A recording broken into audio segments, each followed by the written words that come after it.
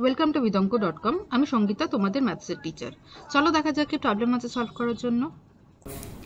সঠিক উত্তরটি নির্বাচন করো। একটি সুষম ষড়ভুজে প্রতিটি অন্তঃকোণের বৃত্তীয় মান কত? Pi by three, two pi by three, pi by six, pi by four. এবার আমরা জানি, দেখো, একটা বহুভুজের অন্তঃকোণের সমষ্টি কি হয়? বহুভুজের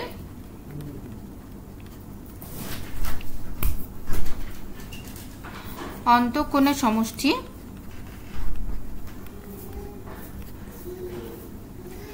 ফর্মুলা হচ্ছে two into n minus two into ninety degree okay আচ্ছা এবারে বহুভুজে যদি বাহু সংখ্যা এন হয়, যেখানে এন হচ্ছে বহুভুজে বাহু সংখ্যা এন ইজ ইকুয়াল টু বহুভুজে ওকে বাহু সংখ্যা। ফাইন তাহলে প্রতিটি কোণের মান কি হবে? প্রতিটি কোণের মান কি হবে? Two into n minus two into ninety degree by n এবারে ষড়ভুজ মানে n is equal to six হবে।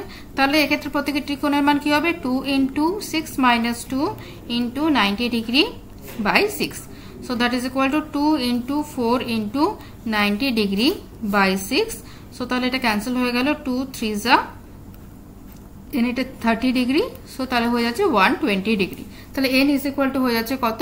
ওয়ান টোয়েন্টি ডিগ্রি তার মানে ষড়ভুজের প্রতিটি কোণের মান হচ্ছে ওয়ান টোয়েন্টি ডিগ্রি এবার এটা তো আমাদের ডিগ্রিতে আছে, তো এটাকে আমাদেরকে পাই মানে রেডিয়ানে প্রকাশ করতে হবে। তাই তো?